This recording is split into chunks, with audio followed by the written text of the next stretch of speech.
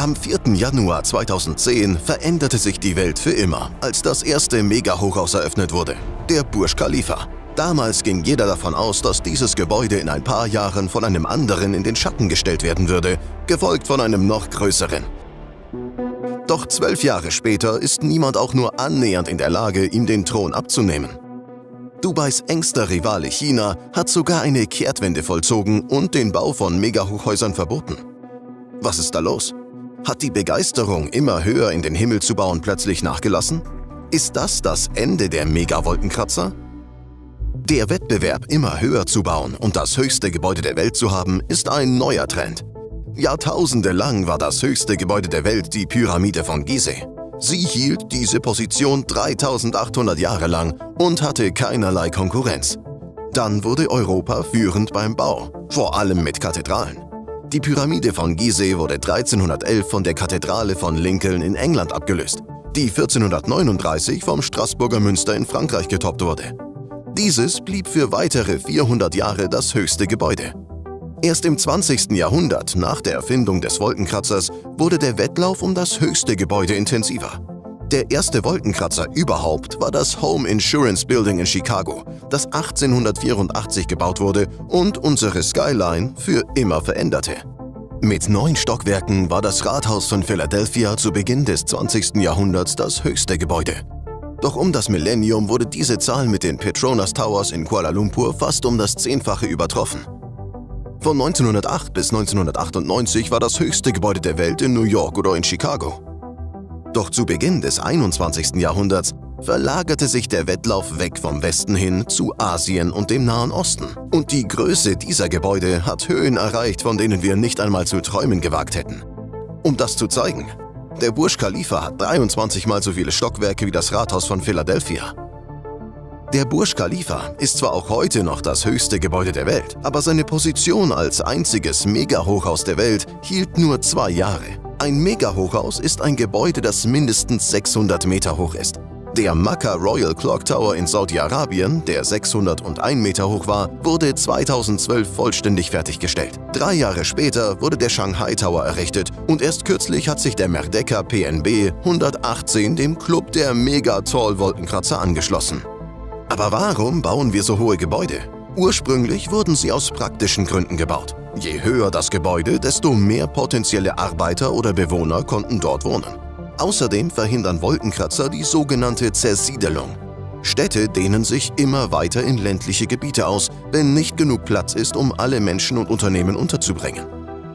Mit einem Wolkenkratzer kann man die Nachfrage von Wohnraum und Gewerbe auf engen Raum erfüllen und diese Ausbreitung eindämmen. Aber es gab auch oberflächlichere Gründe für den Bau größerer Gebäude.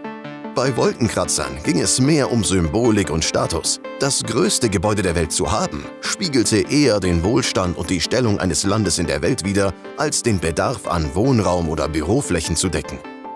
Die Gebäude in New York wurden von Geschäftsleuten und Finanziers finanziert. Aber die des 21. Jahrhunderts bezahlten Regierungen, die damit ein Zeichen setzen wollten. Aber sehen wir uns den aktuellen Rekordhalter einmal genauer an. Eine der erstaunlichsten Statistiken ist, dass fast ein Drittel des Burj Khalifa laut dem Council on Tall Buildings and Urban Habitat CTBUH unbewohnbar ist.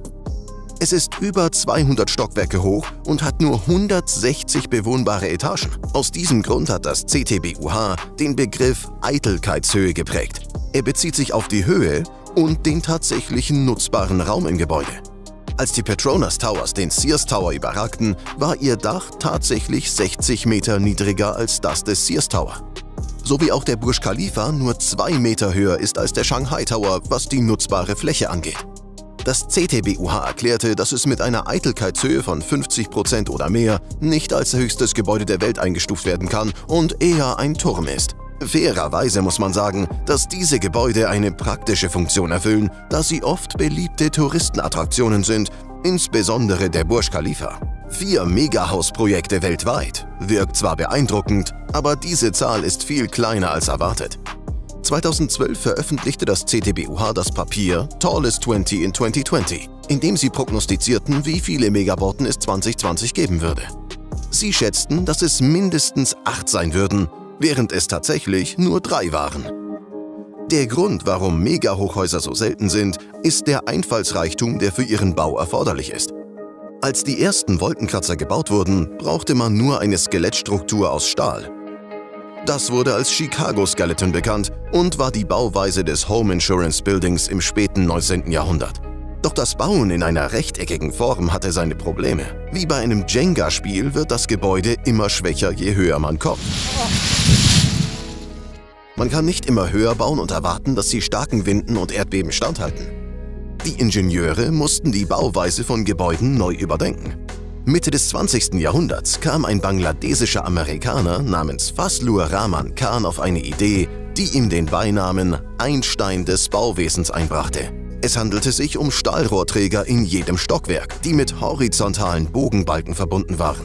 Diese Stahlträger dämpften Stöße besser und hielten stärkeren Winden besser stand und ermöglichten es, weiter in die Höhe zu bauen. Das wurde zur Vorlage und Kahn entwarf später sogar den Sears Tower in Chicago. Für Megahochhäuser wurden jedoch weitere Verbesserungen und Innovationen vorgenommen. 2004 wurde der Tower Palace 3 in Südkorea von Skidmore, Owings und Merrill entworfen, dem Architekturbüro, bei dem auch Kahn war. Dieses Gebäude hatte ein Stützsystem, eine zentrale Säule und drei Flügel. Damit wurde das Gewicht jedes Flügel von den beiden anderen getragen und der mittlere dient als zusätzliche Stütze. Diese Konstruktion wurde später in den Burj Khalifa übernommen und ist der Grund dafür, dass er eine Y- oder sechseckige Form hat. Der Shanghai Tower besteht aus neun zylindrischen Gebäuden, übereinander gestapelt und durch eine äußere Glasschicht geschützt sind. Der Uhrenturm von Mekka besteht aus sieben Gebäuden übereinander mit dem breitesten unten, um Halt zu bieten. All diese ausgeklügelten Systeme dienten als Vorlage für den Bau von immer mehr Megahochhäusern. Es scheint, dass wir die Technologie und Erfahrung haben, um noch höher zu bauen. Aber warum werden weit weniger Megahochhäuser gebaut als erwartet? Um diese Frage zu beantworten, müssen wir zunächst einen Blick nach China werfen. Obwohl China nur ein Megahochhaus hat, stehen die meisten der höchsten Gebäude in China. Ab 2021 befinden sich 10 der 20 höchsten Gebäude der Welt in der Volksrepublik China, eines davon in Hongkong. China hat in den letzten 30 Jahren mehr Wolkenkratzer gebaut als New York im 20. Jahrhundert. Aufgrund ihrer Vorliebe für Wolkenkratzer wurde allgemein angenommen, dass China den nächsten höchsten Wolkenkratzer bauen wird. Seltsamerweise berichtete CNN 2013, dass Dubais 828 Meter hoher Burj Khalifa noch weniger als ein Jahr das höchste Gebäude der Welt ist. Das geplante Sky City Gebäude in Changsha sollte 838 Meter hoch werden. Die Bauzeit soll nur 90 Tage sein und 120 Tage für die Vorfertigung brauchen. Der Bericht endete mit, es ist schon schwierig, den Überblick über die Ankündigungen der höchsten Gebäude Chinas zu behalten. Heute wissen wir, dass Sky City nicht das höchste Gebäude der Welt werden wird. Der Bau wurde gestoppt, es kam zu Verzögerungen und 2015 wurde das Gelände als Fischfarm umgewidmet. 2014 wurde der Bau der Phoenix Towers in Wuhan vorgeschlagen. Eines der Gebäude sollte einen Kilometer hoch werden. Aber es ist schwer, nach 2014 irgendeine Erwähnung des Gebäudes zu finden. Doch das zweithöchste Gebäude, der Shanghai Tower, wurde 2015 fertig und China schien die sicherste Wahl für das nächste höchste Gebäude der Welt zu sein. Aber der Trend zu großen Gebäuden änderte sich. 2021 vollzog China eine Kehrtwende und verbot den Bau neuer Gebäude höher als 500 Meter und setzte Grenzen für Gebäude höher als 250 Meter. In der Erklärung heißt es, Bizarre Architektur, die nicht wirtschaftlich, funktional, ästhetisch ansprechend oder umweltfreundlich ist, wird verboten. Aber warum dieser plötzliche Wandel? Dafür gibt es eine Reihe von Gründen. Erstens ist China für seine seltsame Architektur berüchtigt. Insbesondere für die Nachahmung von Gebäuden wie dem Eiffelturm oder dem Weißen Haus. Die chinesische Regierung will nun Gebäude, die sich in die umgebende Architektur der Stadt einfügen. Auch die Nachfrage nach Immobilien verlangsamt sich. Nach Angaben von Nikkei Asia erreichte die Leerstandsquote für hochwertige Büroflächen in Shenzhen 26% Und die Leerstandsquote in Peking und Shanghai ist in den letzten zwei Jahren erheblich gestiegen. Es gibt auch unbewohnte Wohnungen, die als Geisterstädte bekannt sind, wo es endlose Reihen von neu gebauten hohen Wohntürmen gibt, in denen niemand wohnt. Laut Business Insider gibt es in China so viele unbewohnte Wohnungen, dass die gesamte Bevölkerung Frankreichs darin leben könnte. Eines der größten Probleme war jedoch die Gesundheit und Sicherheit. Im März 2021 brach in einem Wohnhaus in Xixiaoshuang ein Feuer aus. Im August dann ein weiteres in einem Gebäude in der Stadt Dalian. Im Mai begann ein 72-stöckiges Gebäude in Shenzhen plötzlich zu wackeln, sodass es evakuiert werden musste. Wenn China raus ist, wer ist dann noch im Spiel? Der größte Herausforderer des Burj Khalifa als höchstes Gebäude der Welt ist der Jeddah Tower in Saudi-Arabien. Wenn er vollständig ist, wird er das erste Gebäude sein, das einen Kilometer hoch ist. Die Arbeiten an dem Gebäude wurden jedoch im Januar 2018 eingestellt, als einer der Hauptsponsoren im Rahmen einer politischen Säuberung verhaftet wurde. Die einzige Person, die über die Zukunft dieses Projekts Bescheid weiß, ist die saudische Regierung selbst. Malaysia hat zwei Gebäude, Tower M und Tradewind Square. 2018 hieß es, dass Tower M noch nicht im Bau ist und erst in zehn Jahren fertig sein wird. Zum Tradewind Square heißt es 2020, dass die Baustelle leer ist. Indonesien plant auch den Signature Tower in Jakarta.